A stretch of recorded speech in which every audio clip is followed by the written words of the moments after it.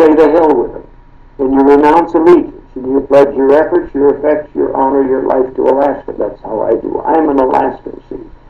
And I, they know it. I've told them so to go to hell in every way I can, and then I swear.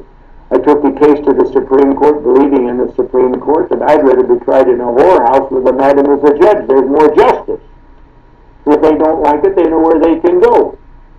The fires of hell are frozen glaciers compared to my hatred for the American government. And I won't be buried under their damn flag. I'll be buried in Dawson.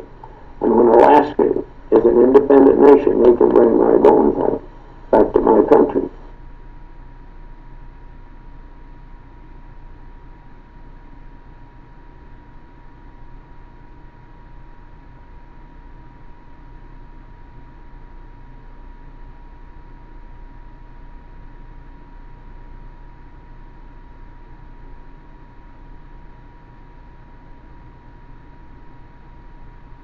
I'm Governor Sarah Palin, and I am delighted to welcome you to the 2008 Alaskan Independence Party Convention in the Golden Heart City, Fairbanks. Your party plays an important role in our state's politics.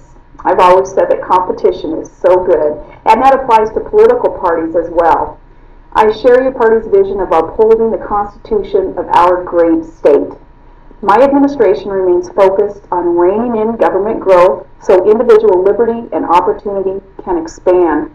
I know you agree with that. We have a great promise to be a self sufficient state made up of the hardest working, most grateful Americans in our nation.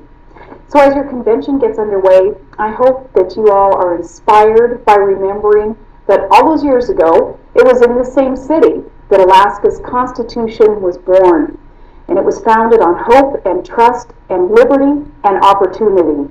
I carry that message of opportunity forward in my administration as we continue to move our state ahead and create positive change.